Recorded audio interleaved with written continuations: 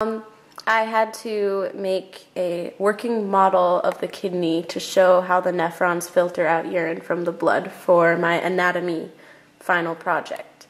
Um, I started off by researching if anybody had ever done this project before or if they had any ideas, and no one had anything, or at least not that I could find, so decided to make a model and well, I didn't decide to make a model, I had to make a model.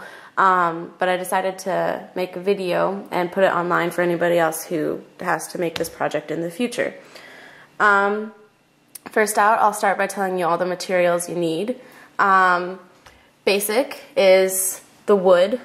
This is just a piece of wood right here that I painted to look like a kidney because the model itself of the kidney doesn't really look anything recognizable. So um, and then there's this other piece of wood with a little groove cut in it, so you could just slide this piece in here and take it out if you need to do anything to it. Um, and then for the actual working parts, you'll need a glass jar. It should be relatively small. Um, you'll need this poly piping. It's just like some plasticky rubber pipe that you can get at the hardware store. Um, you need some zip ties so you can put the attach it to the board. Um, rubber bands so you can attach all the containers. There's one right here and there's one at the top. Um, it'll probably also be good if you have something to punch holes in wood. We used a drill. I don't know what else you can use, but you obviously need holes to attach the zip ties and to put the rubber bands through on the other side.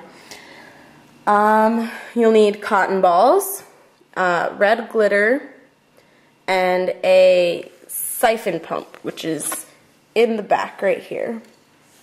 Um, we used a Gatorade bottle as our heart, kind of, like the pump and the Gatorade bottle combined create the heart. Um, the Gatorade bottle holds the blood. Um, yeah. So all the glitter acts as the red blood cells and the water acts as the waste that's being filtered out. And how that works is up at the top, the renal artery right here goes up through the jar and there's holes punctured in the top, which you can't really see because of the cotton balls.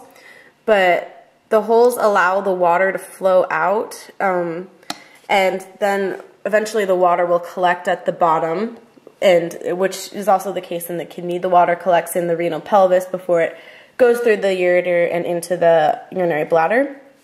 So the as it collects, there's a tea bag and some yellow food coloring in here to actually give it the yellow color but it'll come through here, this piping right here, and into the bladder, which is just a cut water bottle. Um, the blood, this, back to the urinary, or sorry, the renal artery, it'll, it just kind of comes up and it's all connected and it comes back down through here into the renal vein. So, and then, of course, the renal vein goes back to the heart because veins go back to the heart and arteries come from the heart, so it pumps in the right direction. Um, you can see under here, there have been three holes drilled. Um, these two are the one pipe that is acts as the renal vein and the renal artery. This one right here is the ureter. Um, it's cut off on the inside so it's just kind of like attached. And um, that acts so all the water collected will drain through there.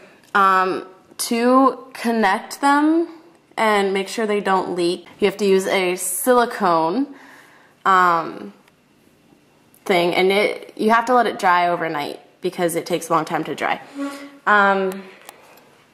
So I think that's pretty much it. The cotton balls, if I didn't go over it before, um, act as the extra nephrons, I guess, to filter out any extra glitter that happens to get through the holes. As you can see in our trials, a couple of the glitter pieces have gotten into there, but that blocks them from actually going out through the ureter. Because obviously, if you have blood in your urine, you have a problem. You should probably get that checked. Um, and I think that's pretty much it. So now I'll demonstrate it. Okay, and if it's been sitting for a while, you're gonna wanna mix up the glitter in the water so it'll pump through. But once it's all mixed up properly, it'll go ahead. And so all the glitter is pumping through with the water.